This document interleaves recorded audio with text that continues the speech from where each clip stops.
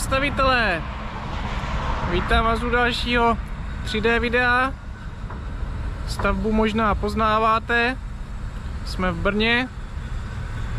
Pojďme na to. Tak co? Chtěli jste to poznat za pár vteřin?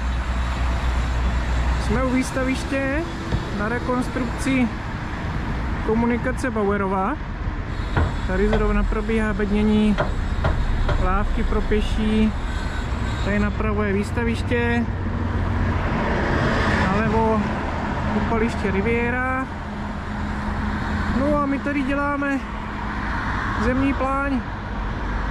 Pár dní zpátky tady probíhalo kopání bagrem. Dneska je tady stabilizace, tak si říkám, že už něco natočím. Kopání bagrem. Máme tady kobelko 350 s 3D samozřejmě GPS-kové. No a tady napravo zostal stávající provoz. Levá část probíhalo kopání na zemní pláň. Mrkem na pár záběrů z dronů.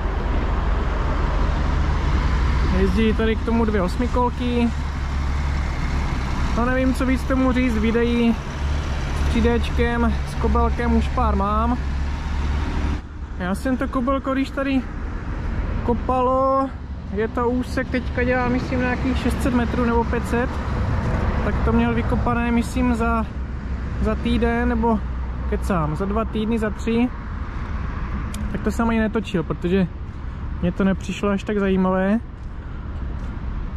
Takže, takže to máme jenom tady z dronu, protože tady točím takové celkové video 3D, takže bude mít bagger, pak tady bude grader, ten tady bude rozhrnovat štěrokodrtě, z toho asi taky natočím vlog.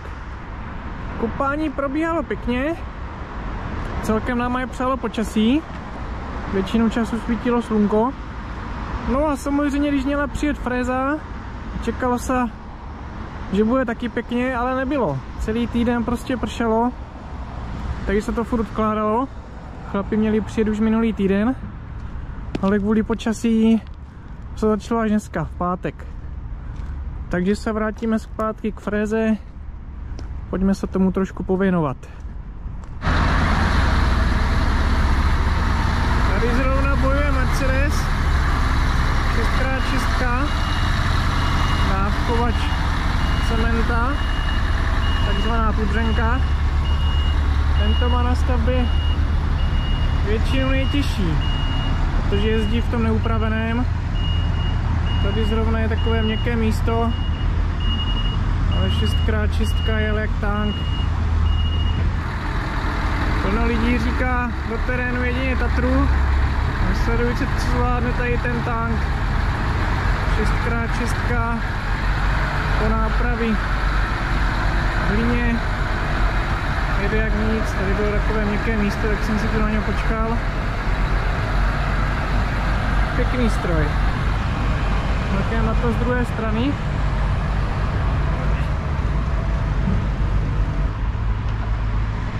Tady to stojí taky za prd. Už to má pěkně nakloněné.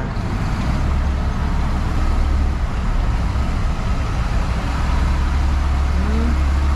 Toto je důvod, proč se to právě stabilizuje. Kdyby na takový terén začali jezdit normální auta a provoz, tak to podloží by to nezvládlo. Proto se to tam takto upraví cementem, který zvýší pevnost té hliny nebo toho podloží a má to pak lepší vlastnosti, lepší stabilitu. Takže vypadá to, že nejhorší má za sebou jede bez problémů vesle dál. Akorát to tady teda trošku rozdrbal, ale fréza to pěkně pomele a náš grader s 3Dčkem to srovná do roviny, tak jak to má být. To tady vápně, tak to bude taky celkem záživné. Po nápraví vyjel v pohodě. No, tady se dostáváme k té fréze. 2500 od Skansky. Sice starší typ, ale práci udělá tak, jak má.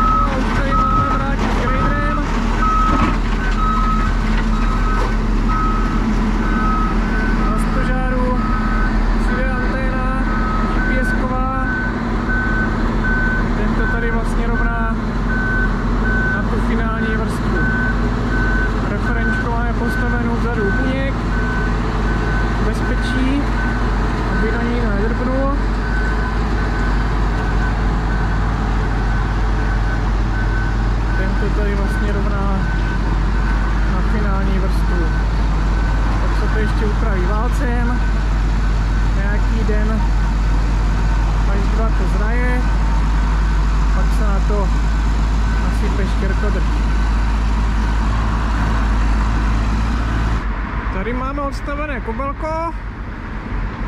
Ten teďka čeká, až se uvolní a další úseky, kde bude most kopat. Tady ta stavba začala, myslím v březnu tohoto roku, hotová má být na podzim příští rok.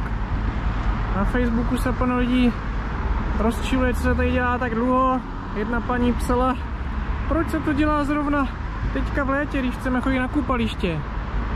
No, ono je to celkem jednoduché, ono se to nedělá v létě, ono se to dělá dva roky a ta práce tady navazuje. Tady třeba před náma, teď to není vidět, ale jsou tady obrovské tři podzemní nádrže, retenční na vodu, nevím teda z čeho, ale asi z kanálu.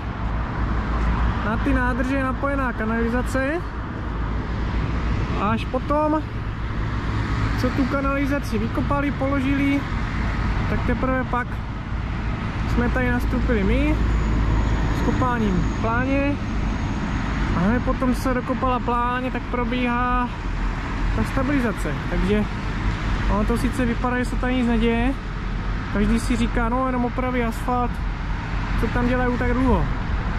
Ale tady se kompletně vyměňuje a spravuje, rekonstruuje konstrukce celé té cesty.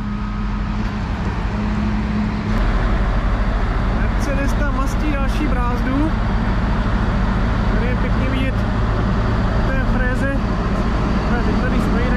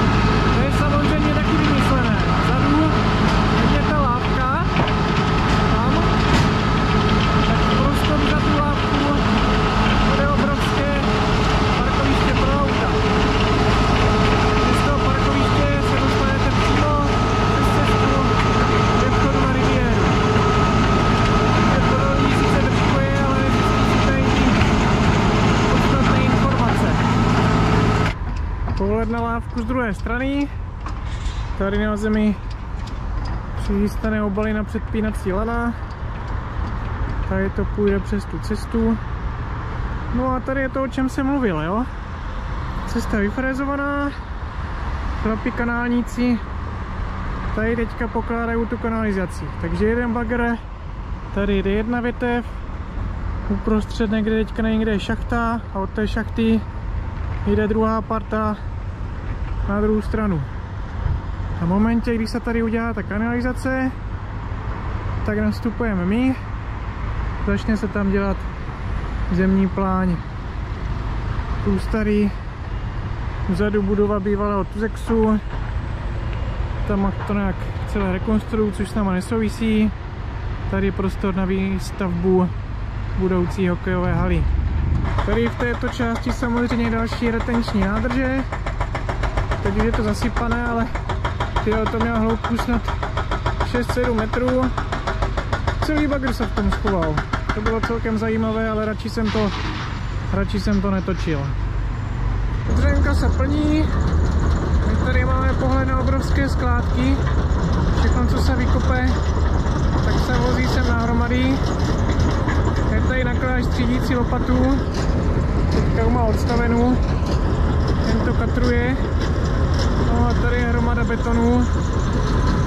A je tady trpička. Liebherr, to je 576. Ten to do ní láduje. Drtí se to všechno tady na recyklát, který se pak bude používat buď zpátky na stavbu, nebo se to někde prodá. Jako takto z vrchu je to tady, je to tady obrovské. Toto je prostor té budoucí haly, tady před náma. Tady ani nevím, nevím co bude, naše buňkoviště. Už tady pohled na tu celou stavbu. Jako je to tady fakt obrovské. To se nadrtí, samozřejmě bere. Vozí to tady na deponku, teďka sledujte, co ten stroj zvládne. To jedna věc je, co zvládne stroj, druhá schopnosti strojníka. Když jsem viděl, jak se škrábe tady na tu hromadu, tak jsem nechápal. Uvidíme, kde to poveze teďka. A je zase tady navrh. To je prostě... To je prostě bomba. Sice pomalu, ale vyjede.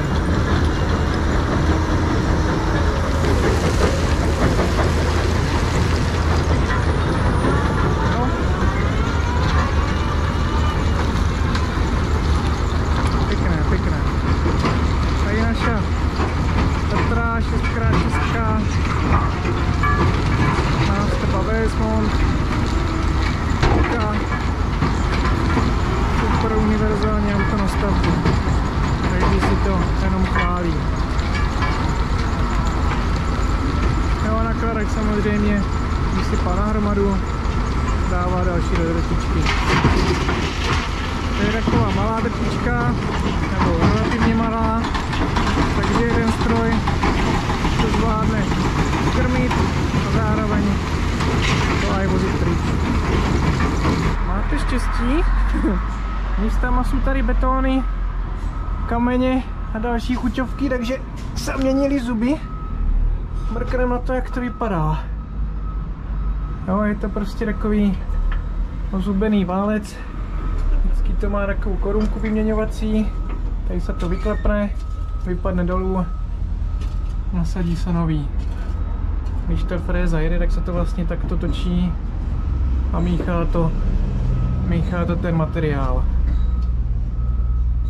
No, pěkná sranda, co říkáte. Fréza dělá další část, tady je to nahrubo přejeté válcem. A už tady teda jede vráťa, ten si zapnul automatiku a už to dělá na ty finální spády výšky, tak jak to má být. Tady máme ještě jasiče, vedle jasická stanice, pořád tady musí být zajištěný výjezd a představbu.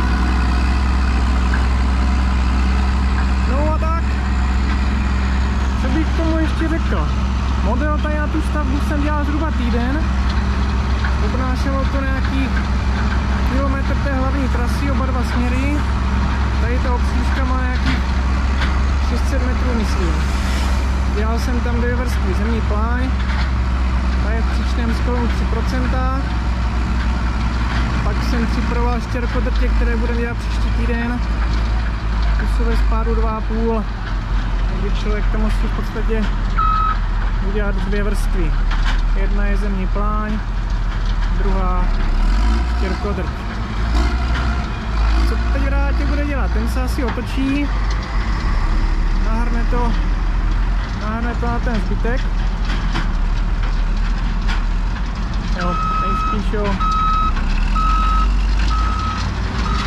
Jo, takže jak jsem říkal, dneska se to zavápní, zamele, příští týden bude probíhat navadění štěrkodrtí, jenom na nějakou krycí vrstvu, aby se potom dalo pohybovat, tak se nerozjezdí ta zemní pláň.